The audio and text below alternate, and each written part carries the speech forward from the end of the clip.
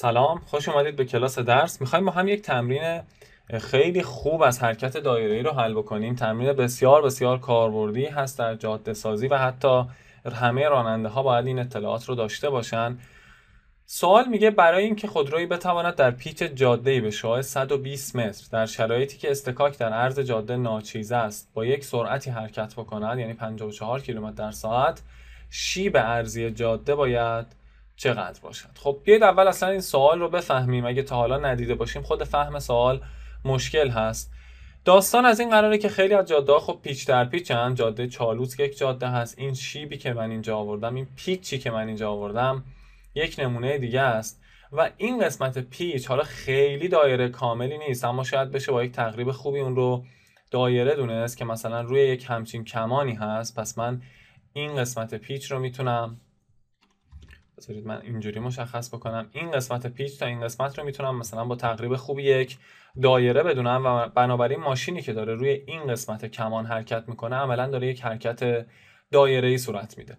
حالا داستان از این قراره که این ماشین من مثلا در این نقطه بنابراین وقتی که مثلا در این نقطه قرار گرفته سرعتش در این راستا هست یعنی مماس هست بر مسیر حرکتش بردار سرعتش و بنابراین اگر هیچ نیروی مرکزگرایی به اون وارد نشه در این راستا ادامه خواهد داد. طبق چیزی که من از حرکت دایره ای می‌دونم.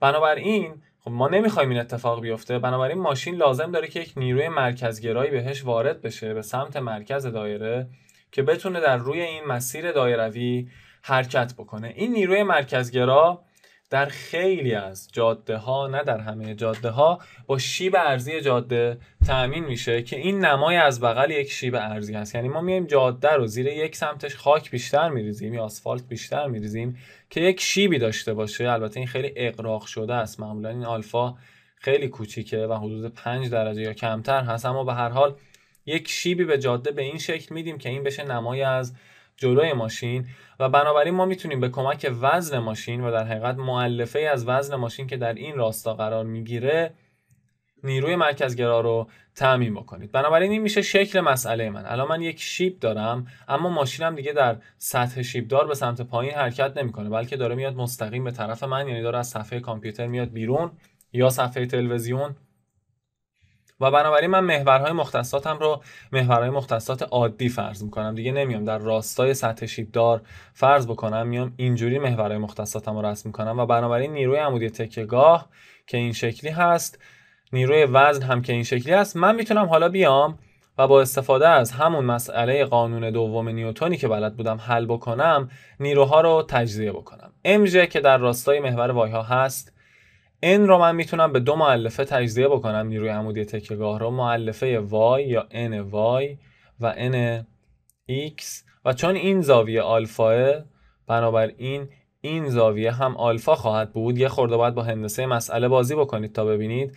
و بنابراین این میشه n کوسینوس آلفا و این میشه n سینوس آلفا. اینها چیزهایی است که من می‌خوام سریع عبور کنم تا بریم ما به حرکت دایره‌ای مسئله بپردازیم و نه به هندسه مسئله.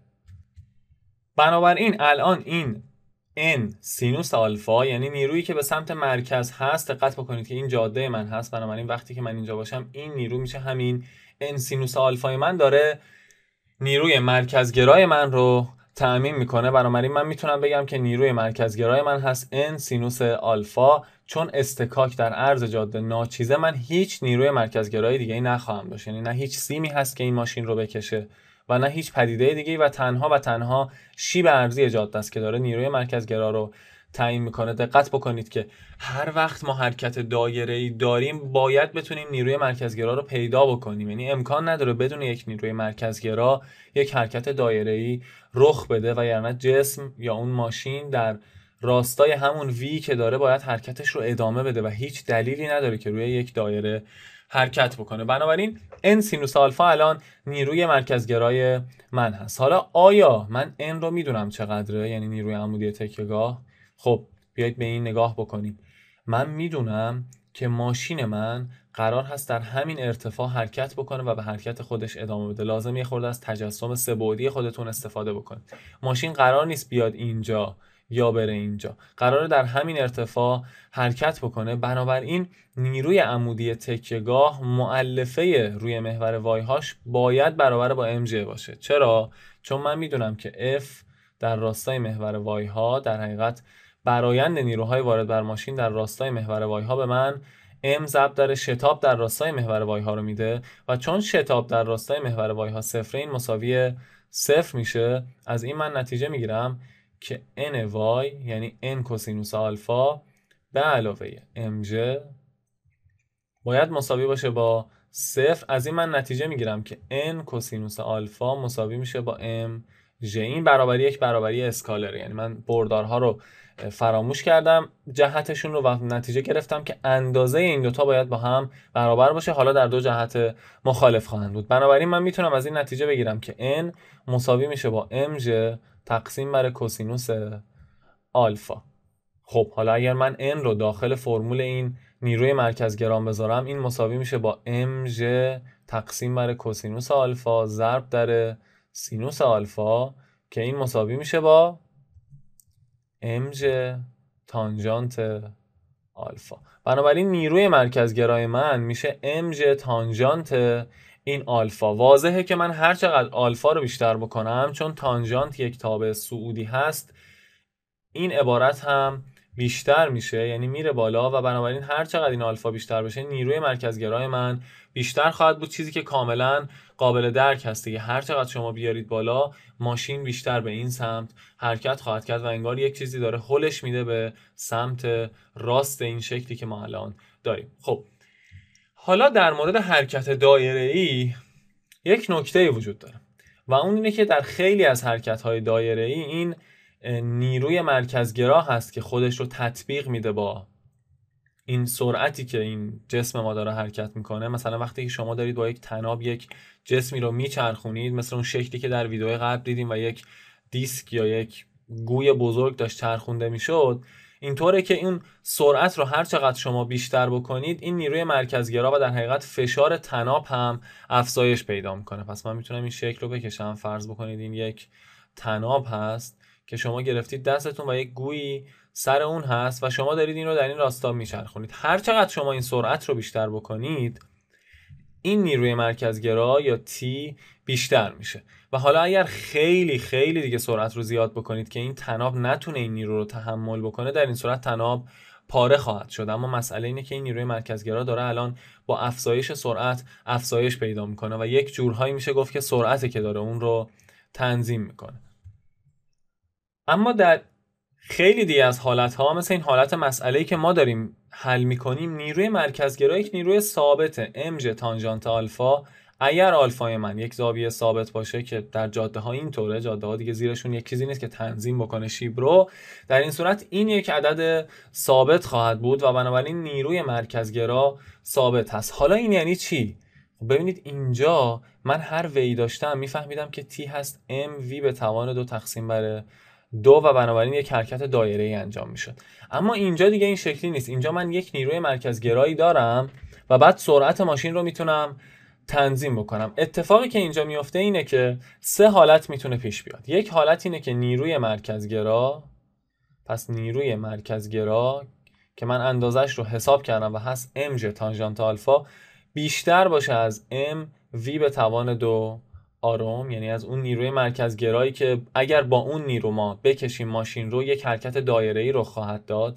یک حالت دیگه اینه که نیروی مرکزگرا کمتر باشه از MV به توان دو به تقسیم بر آر و یک حالت دیگه اینه که این دوتا با هم مساوی باشن. یعنی نیروی مرکزگرا مساوی باشه با MV به توان دو تقسیم بر آر این آخری یعنی نیروی مرکزگرا مساوی با MV به توان دو تقسیم بر آر حالتی است که ما یک حرکت دایره‌ای خواهیم داشت. بنابراین میشه شرط حرکت دایره اگر این اتفاق بیفته یعنی سرعت ماشین من دقیقاً در این رابطه صدق بکنه جرم ماشین ضرب در وی به توان دو تقسیم بر شعاع مساوی باشه با این رابطه یعنی امژ تانژانت آلفا در این صورت من ماشینم روی یک دایره حرکت خواهد کرد که این رابطه رو حالا من می‌تونم حل بکنم و به زودی حل خواهم کرد.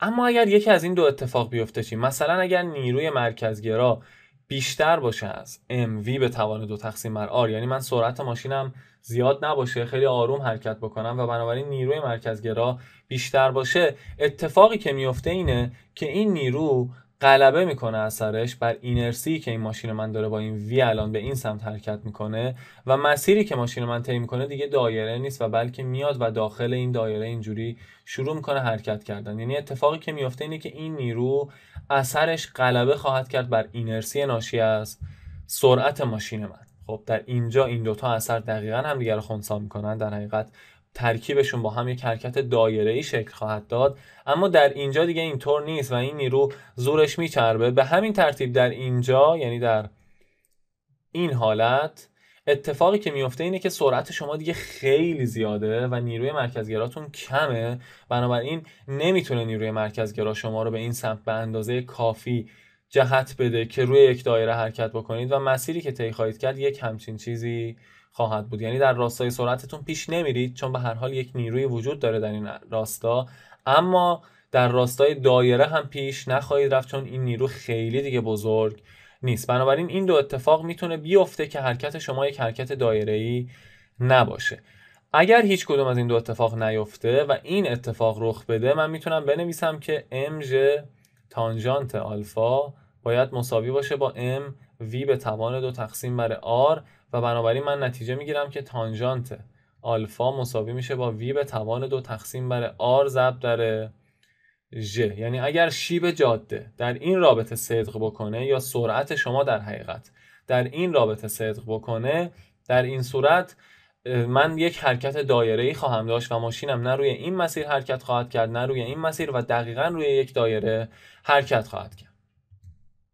خب دیگه الان حل کردن این سوال خیلی برای من راحته چون من من شعاع جاده رو دادن سرعت رو دادن بر حسب کیلومتر بر ساعت که این به عنوان یک تمرین خودتون نشون بدید که این مساوی میشه با 15 متر بر ثانیه. خیلی ساده هست.